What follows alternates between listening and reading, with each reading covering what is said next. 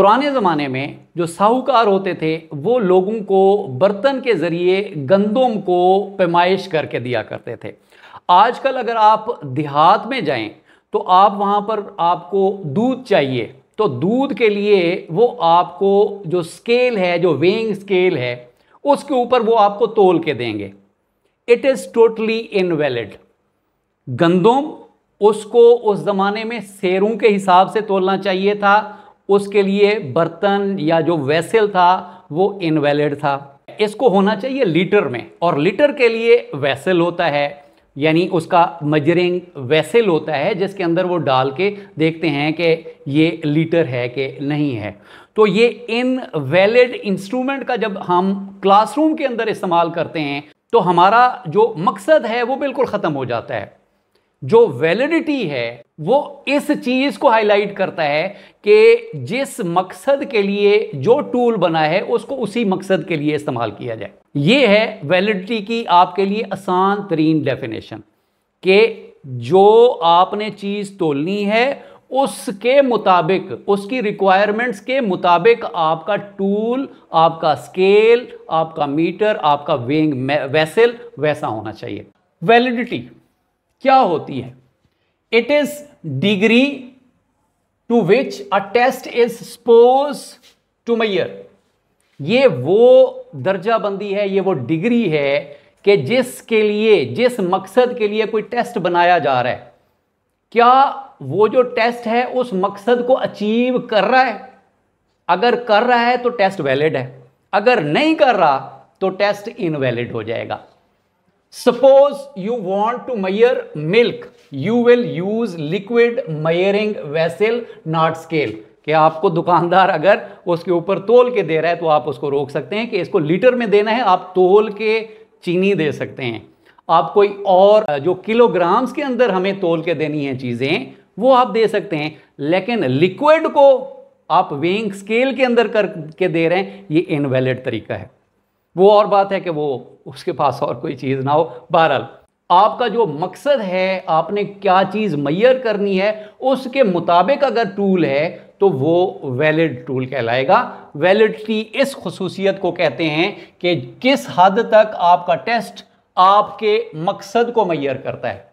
If you want to know learning outcome from students of fifth class अब हम class के अंदर दाखिल होते हैं। पांचवी क्लास का बच्चा है, उसकी साइंस का सब्जेक्ट है और टॉपिक है पोल्यूशन उसमें से आपने टेस्ट लेना है। तो आपका जो टेस्ट होना चाहिए, वो फिफ्थ ग्रेड के बच्चों के लिए बनना चाहिए। वो फिफ्थ ग्रेड की साइंस की किताब में से पोल्यूशन के टॉपिक में से अगर बनेगा, तब वो वैलिड होगा। जो आपका इंटेंशन थी, आपकी नीयत क्या थी? कि पाँचवीं के बच्चे से हमने पोल्यूशन के बारे में, उसके साइंस सब्जेक्ट में से, जो साइंस के अंदर कंटेंट है, उसमें से हमने चेक करना है कि इसकी लर्निंग आउटकम क्या है। आपने टेस्ट बना दिया सोशल साइंसेज से सोशल स्टडीज़ से तो वो इनवैलिड हो जाएगा। बेशक आपने पोल्यूशन का टॉपिक वहाँ पर उसका डिफरेंट होगा तरीकाकार, यहाँ पर उसका जो कंटेंट है वो डिफरेंट है तो ये टेस्ट इनवैलिड हो जाएगा। साइंस पांचवी क्लास, पांचवी के स्टूडेंट और पोल्यूशन का टॉपिक तब आप वैलिडिटी अचीव करेंगे, तब आप अपने मकसद को अचीव करेंगे, अगर आपका टूल उस चीज़ को मैयर करता है। होपफुली आपको यहाँ तक समझाने में कामयाब हुआ हूँ। आगे हम बढ़ते हैं इसकी टाइप्स उससे मज़ीद आपको समझ लगेगी। टाइप्स जनाब इसकी क्या क्या हैं?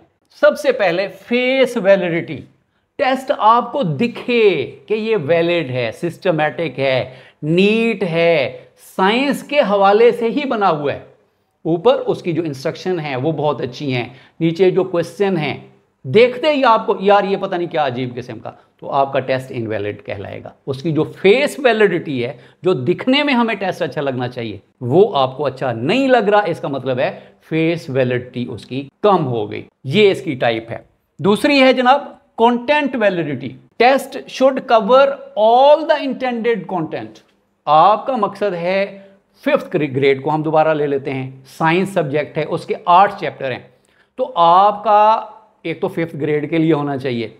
साइंस सब्जेक्ट में से और आठों चैप्टर में से सारे टॉपिक्स को थोड़ा बहुत कवर कर रहा हूँ। यानी सारे जो टॉपिक्स हैं, सारा जो कंटेंट है, उसको कुछ ना कुछ जो है वो उसको कवर कर रहा हो, तब हम कहेंगे कि इसकी जो टेस्ट की कंटेंट वैलिडिटी है, वो बहुत अच्छी है। जो ऐसे टाइप हैं, उसको कहते हैं वो वैलिड नहीं है कि आप पूरी किताब है, उसमें से पाँच क्वेश्चन आप बनाएँगे बीस बीस नंबर के, सौ नंबर का पेपर है तो वो वैलिड नहीं होगा। क्योंकि पाँच, वो तो बहुत थोड़ा सा जो है ना, वो जाके एक सैंपल लेगा। जिन्होंने वो जो चैप्टर्स हैं, वो इंपॉर्टेंट क्वेश्चन हैं वो तैयार किए होंगे, वो बहुत टॉप कर जाएँगे और जिन्होंने सारे का सारा गो थ्रू किया होगा, वो बहुत नीचे चले जाएँगे।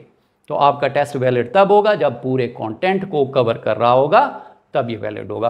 कंस्ट्रक्ट वैलिडिटी अच्छा ये कंस्ट्रक्ट इसको हाइपोथेटिकल कंस्ट्रक्ट कहते हैं। यानी इसके टेस्ट के अंदर इसको लिखा नहीं जाता।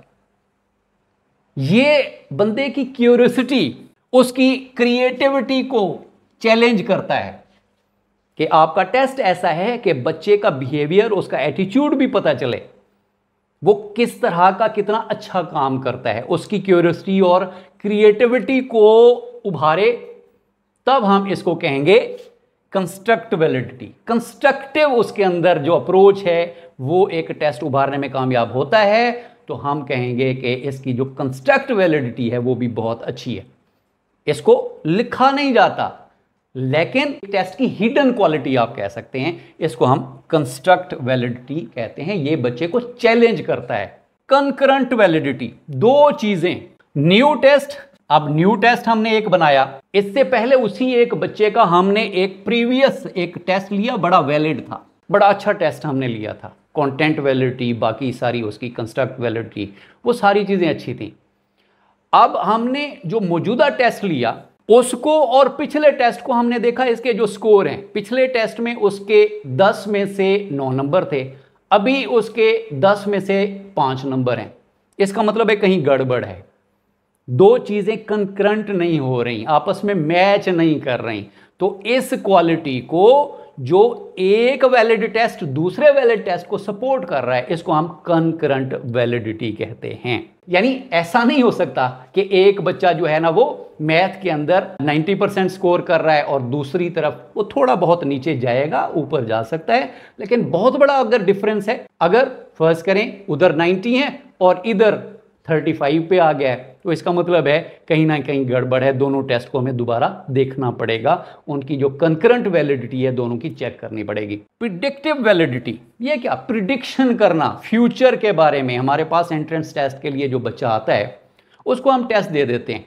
वो होता है सोशल साइंसेज से, उर्दू हिंदी से, वो होता है उसकी अखलाकियात से। उसमें हमने साइंस का नहीं रखा, उसमें हमने इंग्लिश नहीं पूछी, उसमें मैथमेटिक्स नहीं पूछी। अब 100 नंबर का पेपर उसने हल किया और उसके 95 नंबर आ गए।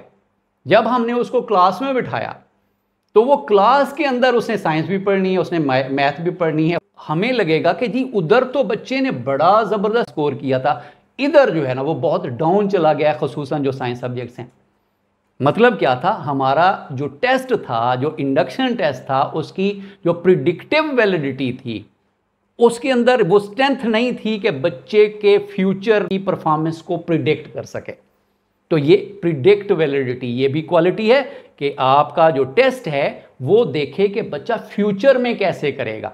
तो इस चीज़ को प्रिडिक्ट वैलिडिटी कहते हैं।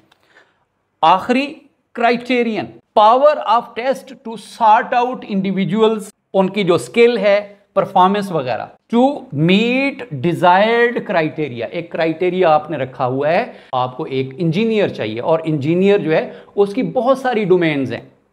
तो आपका जो टेस्ट है, वो उसकी एक दो स्केल को चेक कर रहा है, जो आपका क्राइटेरिया है कि हमें इस किस्म का इंजीनियर चाहिए। वो उन बाकी एरियाज़ को इग्नोर कर रहा है तो उस इंजीनियर ने काम नहीं करना। उसमें बहुत सारे ऐसे लोग आ जाएँगे, बल्कि मिक्स हो जाएगा। तो वो अच्छे और बुरे के अंदर डिफरेंस भी नहीं कर सकेगा। तो इसके अंदर पावर होनी चाहिए कि जो आपने सेट क्राइटेरिया रखा है, उस क्राइटेरिया को मीट करे। उसके जो रिजल्ट्स हैं, वो उससे मिलते जुलते हों। वो लोगों की परफॉर्मेंस उनकी स्किल जो डिजायर्ड है, उसको आपके सामने खोल के रख दे। तो इसको हम कहते हैं क्राइटेरियन वैलिडिटी ये था आज का हमारा मुख्तसर सा टॉपिक उम्मीद है आपको समझ लगी होगी वीडियो अच्छी लगी है चैनल पे नए हैं तो इसको सब्सक्राइब और शेयर लाजमी कीजिएगा. Thank you very much